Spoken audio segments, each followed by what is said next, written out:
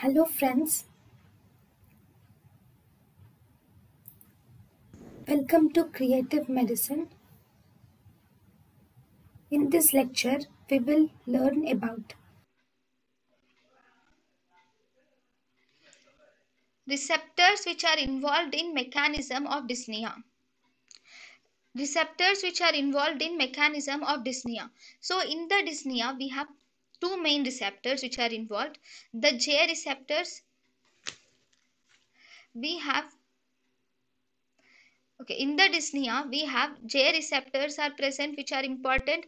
Stretch receptors chemoreceptors and the receptors on the respiratory muscle. First, J receptors.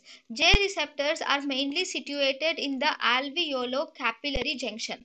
That is, they are situated between the alveoli and the capillaries. At the junction of them, you will see these J receptors.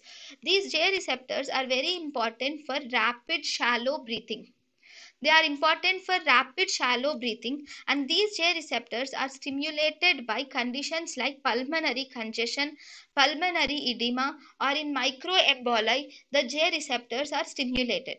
So J receptors are situated at alveolo-capillary junction and they are responsible for rapid shallow breathing and they are stimulated mainly by pulmonary congestion, edema and microemboli.